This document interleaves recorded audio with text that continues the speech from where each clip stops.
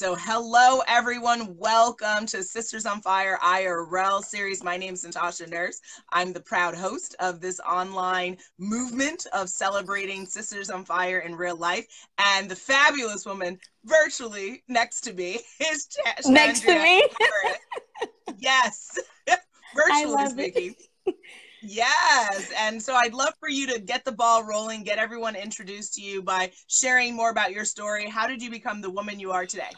Oh, wow. That's a lot. One question, Natasha. well, yes. so I am Chandria Lucius Harris. I am the founder of a new nonprofit, the National Association for First Gen Students and Professionals.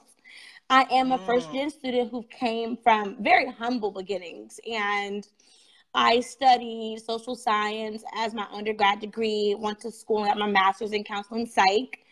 And in the process, okay. began to work in higher um in, in human resources.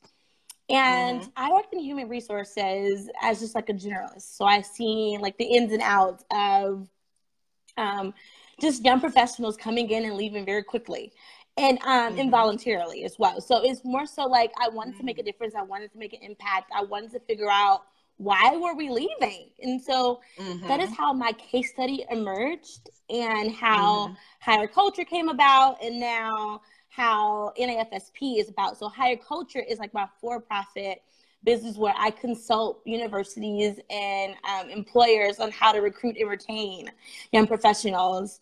And as I worked full time in higher education, I began to know that there was a pattern for for the hidden minority, which is first gen, which mm-hmm. is me, and of course I'm super passionate about it. So I started a, a nonprofit yeah. to help first gen. So I'm very busy. but yeah. super excited yeah. because the cost speeds like it's it is a very big need to provide access and exposure to first gen students and i'm just so passionate mm-hmm. about it mm-hmm. and i'm so happy to just be here today to talk to you about it and to just see what we can do to help students raise their hand most importantly, but mm-hmm. like what we can do to get everyone involved to to create that that network for first gen students. Okay. Well, what are the biggest issues that uh, first gen students are facing? So there are a couple. So number one is just like emotional support. So as if you think about it, when you start college, everyone has that sense of like need of like community. You're leaving your community to yeah. start a new community. And as a first gen, you have a financial hardship that mm-hmm. is I would say intensify because you have really no one. And yeah. the emotional support is highly needed in those first two years as you begin to navigate that path, learn systems, and it's very intimidating. And and as I know, when when someone gets overwhelmed or when you have a lot of things in front of you, academics, you know, social engagement and navigating the whole process of getting started, you struggle with yeah. just getting acclimated. And once you're yep. overwhelmed, you'll be like, I'm checking out. I'm out. Don't worry about yeah. it. So the biggest issue mm-hmm. is like first gen students are not really ish, like interested in like just struggling and trying to test it out. And they're leaving mm. school um, you know, really early without even giving it a chance. And then secondly, the students that actually endure college struggle with getting the access. You know, we're we live in a very relational world where yeah. if you know no one, you get nothing. I mean, it's, I mean, you're really going to be still yeah. at the bare at the bottom. So my goal is to help those students persist through college, but also mm-hmm. land desire and gainful like employment where they are excited mm. they can actually mm. go back to their homes and you know pave the way, whatever their their their desires are. My goal is to help, and I know the number one desire I've always had was to go back to make money fast enough to go back home and say, Mom, we yeah. did it. We made it. We're here. No more struggle. Yeah. So I, I want to be a conduit, a liaison to help um, first gen students get that access. And it's just, I can just envision it now. Um, just helping mm. you know, across the nation, just helping first gen students stand up and take a seat Mm. Now, are yeah. you having conversations with high schools? Because it seems like, uh, I mean, really, you'd want to start the conversation as early as possible, but at bare minimum, high school connectivity. How are the high schools responding to kind of your efforts and your work? And are they amiable to the conversation? Or is there some pushback? How's that conversation been? So going? it's not much of a pushback. It's like everyone wants to throw the ball to someone else. Uh, and it's okay. like, okay, let's get them graduated. Let's get them in. Like, they're not even in college yet. And so my goal is to get first gen mm. students to college. So I struggle with connecting with counselors who actually have the time to deploy yeah. programming to help first gen. And so mm-hmm. right now, the biggest I would say light right now is going off in universities because they're having very low retention numbers and they're struggling okay. with getting those first gen students there. Like co- colleges across the world are struggling with recruitment because of course this whole mm. big debate of like do i need to go to school or, am i good without a degree that big debate definitely yeah. causes issues so mm-hmm. universities across the nation is like taking a hit so they're like mm. who can we focus on so they're focusing on, on first gen and recruiting them and offering incentives for them to go but to keep them mm. the effort is not as strong and they get there and the emotional support is low, you know, for whatever reason. And then yeah. and honestly, I do blame a lot of it on the first gen because they're just like, I'm not going to ask for help. They're not raising their hand. Social comparison mm. plays into that. Imposter syndrome plays in. It's a lot. Mm-hmm. It's, it's, real deep. Yeah, yeah, and absolutely. So, like, and so I just think we need from the beginning a mentor that knows mm-hmm. like someone to guide and so a yeah. part of my nonprofit goal is to have a AD mentorship component where mm-hmm. there's strategic network. Like I know that you're struggling. I get this. You don't have to raise your hand. Like when universities ask, like have events and stuff, they make it real clear. First gen comes to this. Yeah. Who's gonna go to that? Who's gonna go? Like who's gonna raise their hand and say yeah. my mom is poor or my mom never been to school? Who's gonna do that? I mean, who's gonna really do that? You know? And, yeah, and yeah. We're like, oh, well, we're trying to help them. We have money for them. We have funding for them, mm. but they're not mm. coming. I wouldn't either. I mean, it's like you're yeah. telling me to raise your hand if you had, had a, a baby in high school. Nothing is wrong with that, but they're not going to raise their hand to say, help me. Yeah. Which is yeah. why I'm redefining first gen. I'm calling them trailblazers, right? I want to redefine how mm. it is mm. implied to take the the the focus on off of like my heritage, which I believe and love it will die by, and focus more yeah. so on the opportunities that was afforded to me by my ancestors. So gotcha. you know, I'm super passionate, and NAFSP is going to definitely work to invoke Congress to re- just rechange all of that. Like, just you know, mm. you guys did not hit it with that definition. Gotcha. And so that's my biggest goal. So yeah. So now it's interesting since you brought up the point, and I think it is an interesting point, given how the marketplace and and all these opportunities that have been created in the last 10, 15, 20 years that do not require a college degree. What where do you stand on that? I mean, you and I are both college degrees. I I'm a lawyer actually by trade. So I have 7 years of educational yes. experience and 300,000 plus debt and I, I, it begs the question do we need to go to college? And yes. if so, what are the three reasons? I'll tell you. Number one, when employers are creating that pipeline for you to like mm-hmm. have entry level into their organization, is mm-hmm. only for entry level. Mm-hmm. So this whole you don't have to have a degree is only for entry level roles. When it comes to being promoted to being leadership, you can you can cancel it. They're not going to consider you, right? It's one of those ploys. Like mm. in the eight in the 1980s, they had these apprenticeships programs, like all these like come now, take you however you are. I don't care what your degree is, just come work. We'll help you. It's this, mm-hmm. it's a mm-hmm. new revelation of that, a revolution of that, but it's focusing on just come in and work. Con- continue to be middle class, and we're good. Because mm-hmm. if you mm-hmm. think about the roles that are dying, Natasha, these roles are like when you talk about like workforce development, a lot of the roles that are not being filled are roles that are that doesn't require a degree because mm. America is so educated. And, and this is definitely highly debatable, and I, I don't mind saying this, but America, America is too educated for those blue collar work like roles where a lot of those um, I would say a lot of those people that are in those roles now, generation like X, they're retired. Like baby boomers are retiring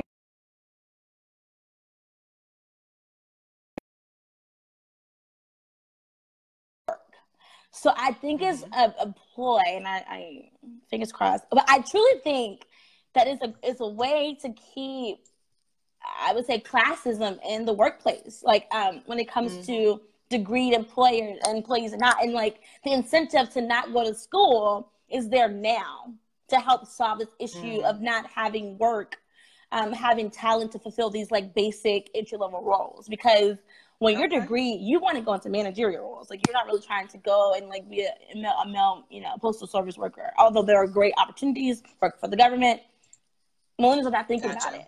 So I think that's what it is. I really think it's the issue, and they are trying to find ways to give incentives for you to join their company. Good. Okay. Um, that. Mm-hmm. Good, bad, so I was just gonna say, Gotcha.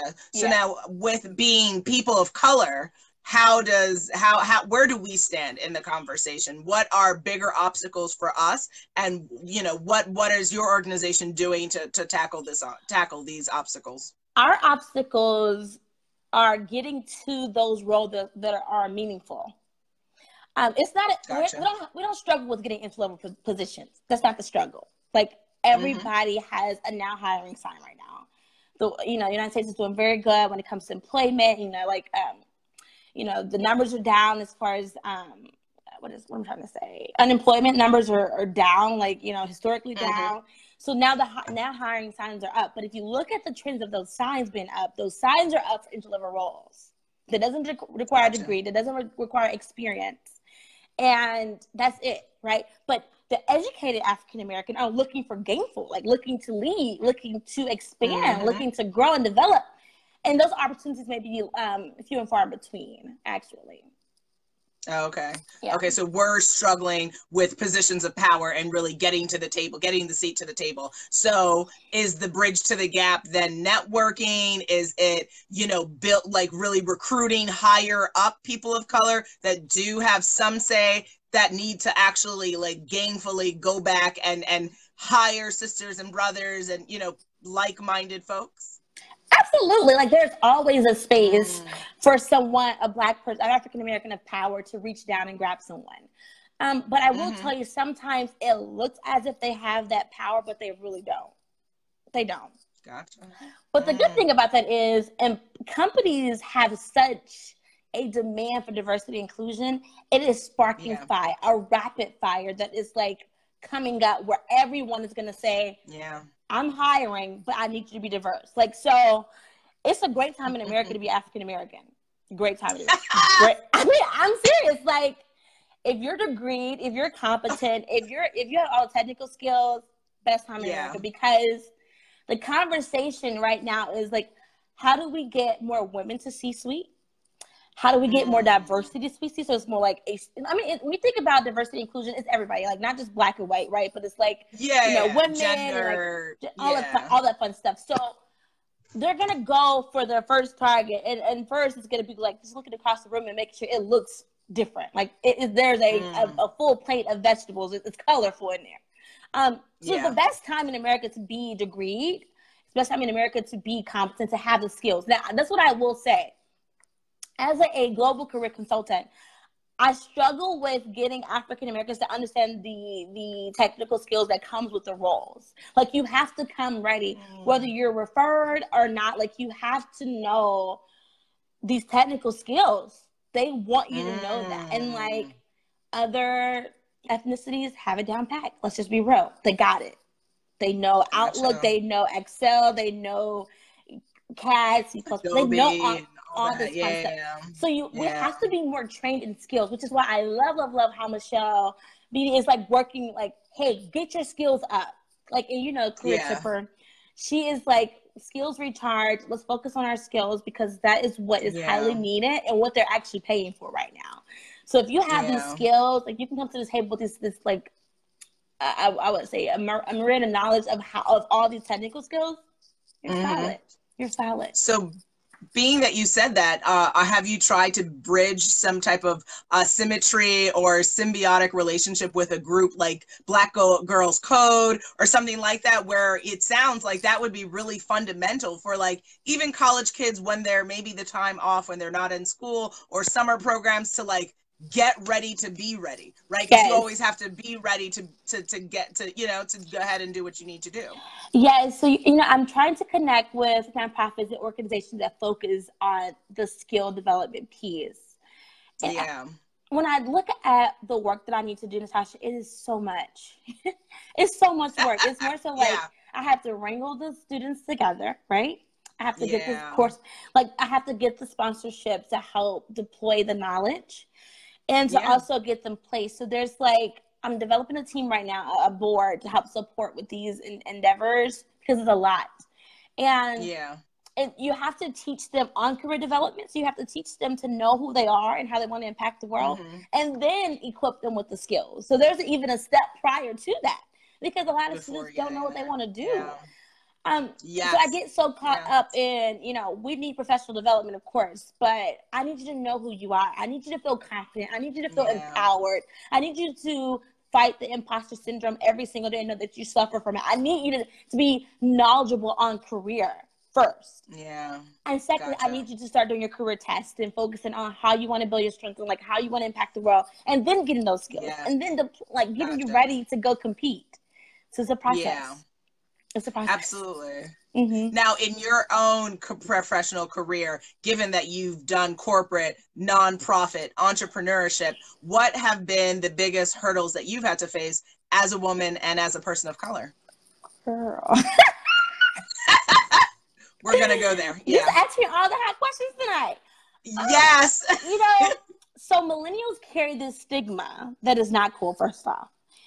And yeah.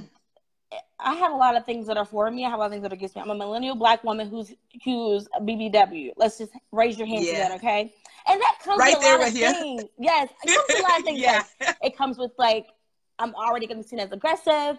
Of course, I'm already I'm mm. out there as far as like career driven. That is scary and can be career limiting. And yeah. I'm really focused on important performance because I need success quickly. Like I'm a first gen also so I have that black tax that is on mm-hmm. me that I have to pay. Yeah. So yeah. so I'm super results oriented and I'm very direct and like let's get things moving. And sometimes that can cause yeah. work tension. Um okay. so even when like I feel like sometimes young professionals are deemed are limited on their next move because they're just intimidating to Gen X, like who's already there. And like I was once told in a in a role, like Chandria, you're awesome, you're amazing, your your results are there, you're doing awesome, like we love it. However, we cannot promote you because you haven't been here long enough. And it wasn't based oh, off of wow. performance. Wow. And you know, we're mm. thinking, let's perform, perform, perform. And they're like, no, we need you to perform and get the experience and stay around and stick around. So it's almost like how, mm. you know, mm. employers say, hey, you can go to school and we'll pay for it if you stay here for yeah. three years, you know, and three years after that as well. So it's like, yeah, it's been my biggest hurdle. It's like trying to okay. marry performance and um, so you're like experience, but also being patient, yeah. and then also like trying to reach back and help, you know, in, in every way. Yeah. So that's been a lot of things that I've been dealing with. Okay, gotcha. And what would you say has been the biggest lesson that you've learned so far? I think you have to build relationships and you have to be very yeah. um, strategical about who you connect with and your time. Yep. And I yep. think it's not always just best to pull on the first African American you see for help because that may not be the case, you know?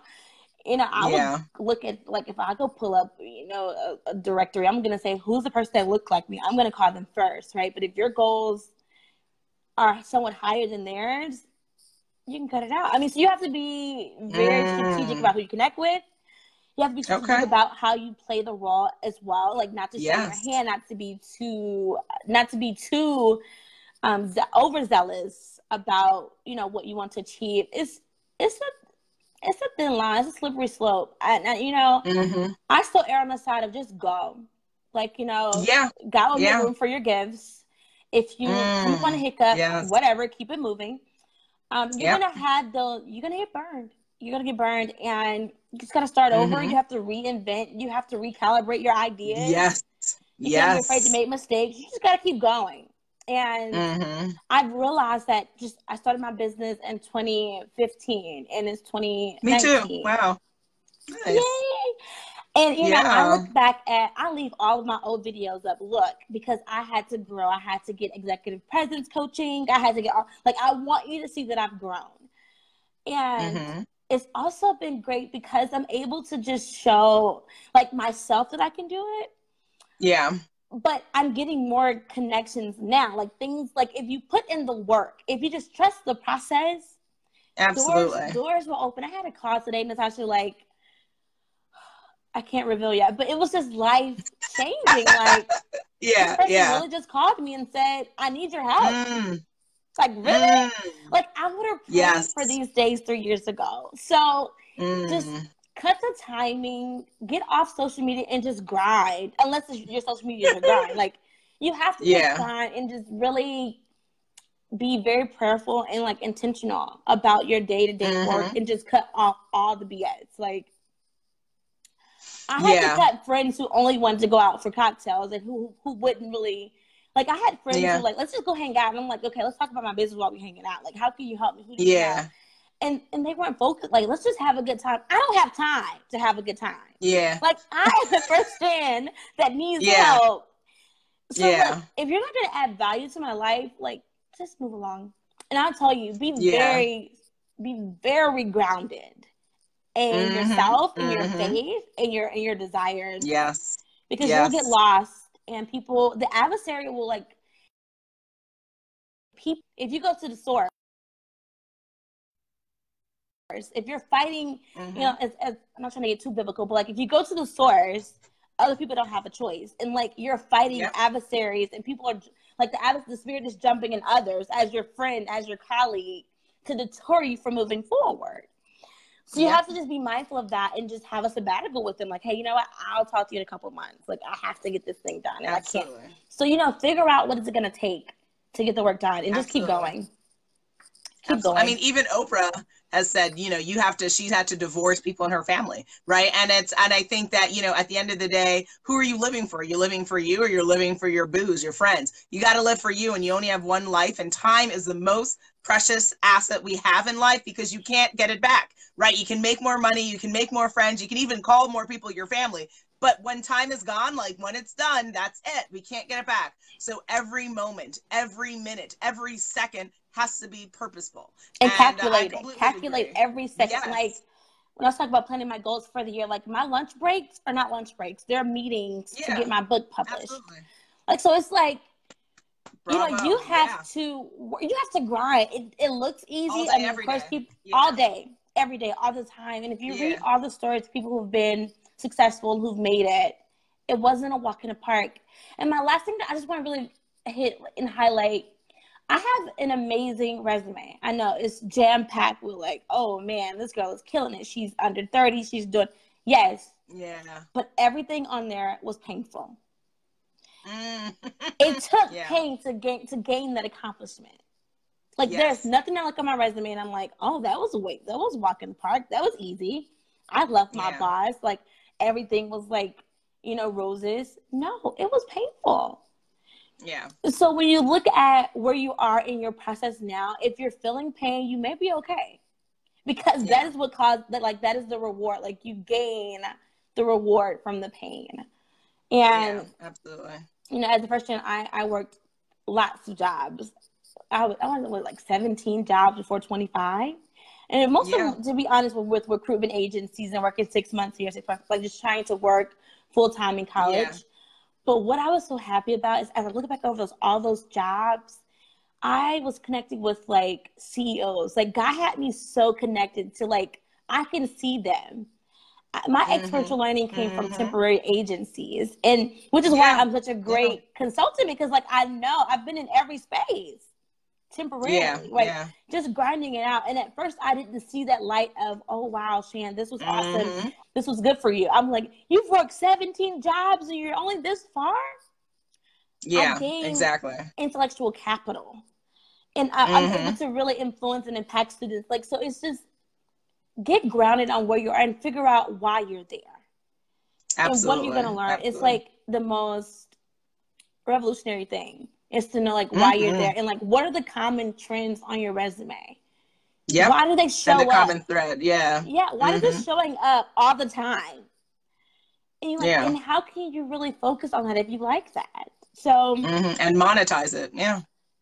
Yes. And, you know, I, I think yes. And and that's where the work comes, and it's just spending some time getting to know yourself and trusting the process it's been beautiful yeah. and it's becoming more beautiful as I know that this is just a process and that every Good. day there's a miracle going to happen for me, for you, but you have to have your eyes be open to see miracles. Yes. Absolutely. Absolutely. You know, like, you know, so it's like I wake up every morning and say, these are the three things I want to do. I want to accomplish these three things today. Yeah. And, and one of them is to be a conduit. One of them is to say, God, what do you yep. want me to share with this person? Like, mm, what do you want me to mm, say? Yes. Like, let me pause and see what is hot topic so that you can speak through me for them. I want to give yes. them a word on your behalf. And in this, yes, going to bed knowing that I'm going to be very, you know, when I go to bed, I'm thinking I was intentional today. I don't mm-hmm. know who you were able to touch through me today, but I'm just so thankful that you used me today. And, yeah, absolutely. Then, so it's just you have to be intentional. You have to get up yeah. and grind every day. You have to focus on just being your best self. Absolutely. You, my dear, I mean, I hope, first of all, I hope you're very proud of yourself because, like, everything that you're saying is like truth gospel that I live. I just Yay. did a talk today and just said so much of that as well. And it's such an honor to speak with someone who is so powerful and oh, so oh, evolved right? And so enlightened at such a young age. So i hope you wake up and you say you know thank you for being alive and thank you for all the glory and amazement that you have inside of you. And and i think everyone watching this on the live and on the replay can feel that can hear it can see it. So oh, you know you. i commend you sister for being amazing. And you know obviously you're in this series because you're sister on fire. So you know for you yes who for you in your life have been, you know, a first, what what would you define a sister in fire as, and then who in your life is that for you? Oh my, you're gonna make me cry. So a sister Aww. on fire to me is a yeah. sister who's intentional about what needs to happen. Like I get that there's so many celebrities and people out there that are like making good money, but if there's no impact on someone else, honey, you're missing yeah. the mark. you know, it's the most yeah. amazing feeling is someone to say, Shan, you've changed my life. And yes. so, Sister on Fire to me is someone who's been intentional about their power and influence and making it happen for someone else. Yeah. So, I recently accepted a role in corporate America, and I didn't tell anybody. I was going to save it for your podcast. Yeah. And it's going to be is with the organ, leadership organization development team for a Fortune 60 company. So, Natasha, your girls, I'm at the table. I'm sitting down, and yeah. I support programming for executives of the company, like the top five. Mm, this, is a, this is a Fortune beautiful. 60 company. Mm-hmm. And the person that got me on there was a sister. And it changed mm. My whole thought of sisters because number one, I struggled with being burned by sisters.